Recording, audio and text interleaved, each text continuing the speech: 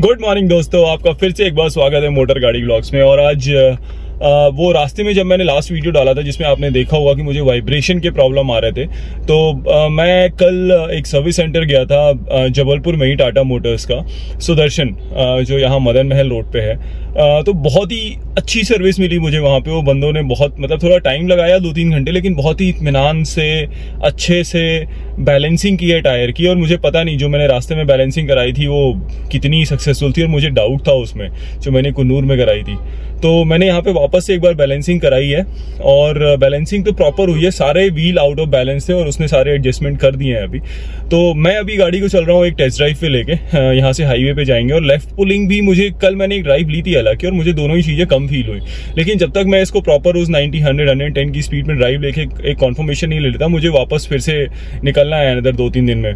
सो फिर वो लंबी ड्राइव में ना मज़ा नहीं आएगा एंड आई डोंट वॉन्ट कि मैं फिर से इंजॉय ना करूँ। तो इसके लिए बस चलते हैं एक टेस्ट ड्राइव लेके हैं और देखते हैं कि कितना कुछ फ़र्क पड़ा है और वो बंदे ने मतलब क्या सही किया था क्या गलत या कुछ और रीजन है? क्योंकि यार मज़ा नहीं आ रहा है ड्राइव में तो कुछ और रीजन होगा ना तो दिक्कत हो जाएगी।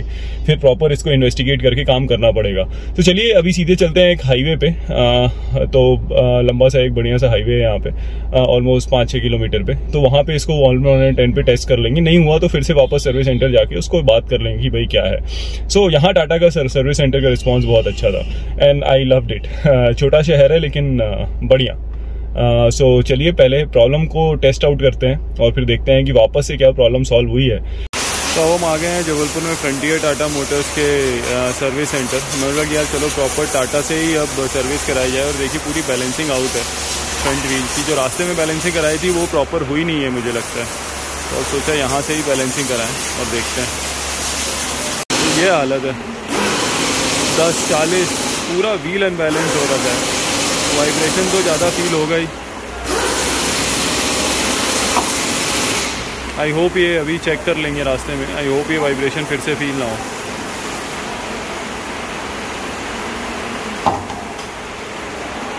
और भाई एकदम बराबर काम कर रहे हैं भाई साहब। ये देखिए, ये वाला आउटर साइड में लगेगा 15 40 लगेगा इनर साइड में। तो ये दोनों साइड का बैलेंसिंग का रीडिंग होता है।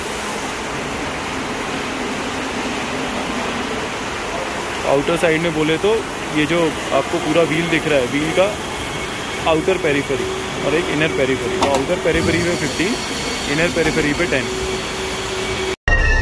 तो चलिए अब हम आ गए हाईवे पे और अभी टाइम है गाड़ी को टेस्ट करने का। तो अभी अपन ने लगा दिया है मोबाइल को होल्डर पे और ये अपन कर रहे हैं एक्सेलरेट थर्ड गियर 40 की स्पीड में। सिक्सटी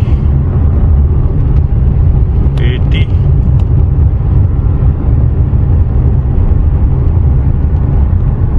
तो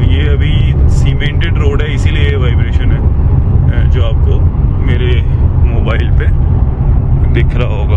अभी हम आराम से 80 पे चल रहे हैं। तो फ़िलहाल तो 70 में 70 में तो कुछ नहीं है। एक बार इसको थोड़ा सा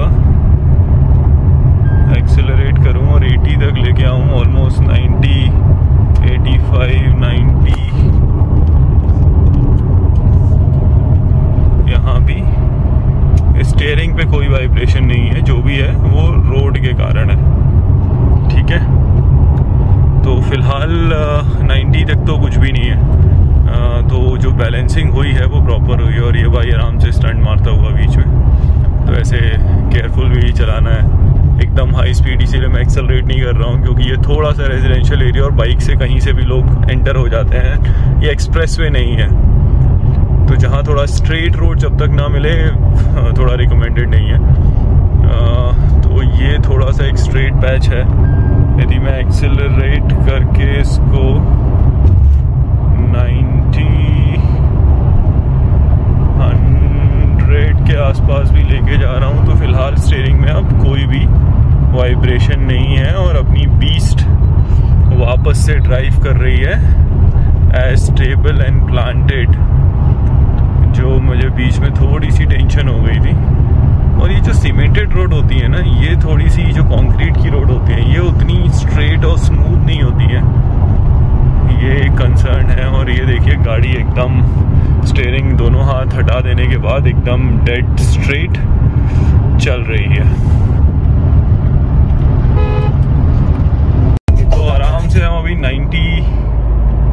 90 100 की स्पीड में जिसमें हमको वाइब्रेशन फील हो रहा था, हम आराम से देखिए 100 की स्पीड पे क्रूज कर रहे हैं और अभी steering is as stable as मतलब एकदम प्लांटेड अभी कोई भी दिक्कत नहीं है। तो फाइनली जो प्रॉब्लम था, वो था बैलेंसिंग का ही। और अब एकदम कॉन्फिडेंस आ रहा है चलाने में और एकदम मज़ा आ रहा है। तो मैंने तो एक ड्राइव का भी मज़ा ले लिया इसी दौरान। लंबी सी एक प्यारी एक टेस्ट ड्राइव हो गई उसके बाद, क्योंकि ये सर्विस सेंटर अच्छा था, यदि कुछ इशू होता तो उन्होंने बोला था कि आप टेस्ट ड्राइव करके मेरे पास वापस लेके आ जाना।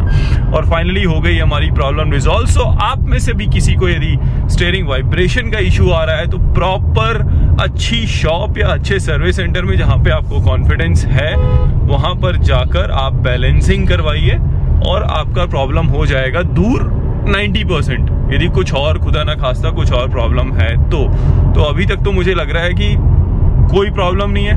और अब मैंने मतलब अभी तक क्या, एकदम चला के देख लिया, मज़े से एकदम कुछ भी, कोई भी इशू नहीं है गाड़ी में, एकदम मस्त चल रही है।